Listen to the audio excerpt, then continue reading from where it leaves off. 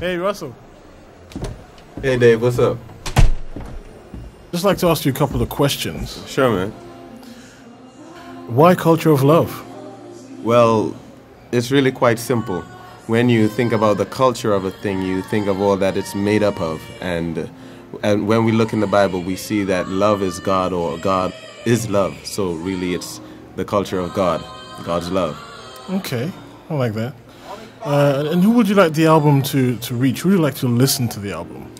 I'd have to say anyone who finds themselves right now in a place where I once was, searching for true love. Uh, just to let them know that that love can be found only in God, because God's love is the ultimate love. Okay, have a good show. Yeah, man, thanks.